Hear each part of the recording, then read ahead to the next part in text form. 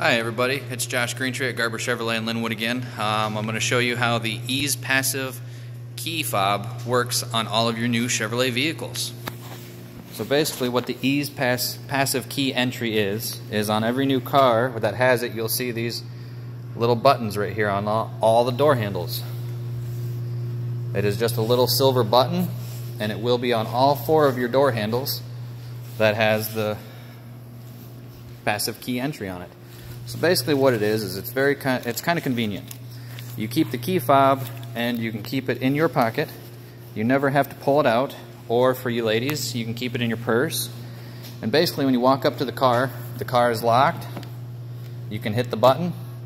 It unlocks the car for you to get into the car. And you can get out, push the button again, and it locks the car back up.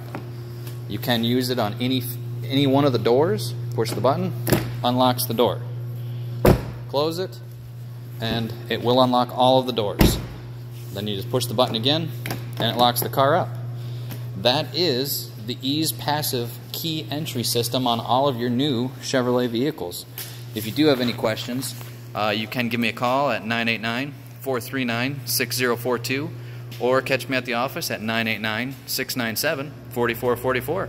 Hope you enjoyed the video and any questions, please don't hesitate to get a hold of me. Thank you.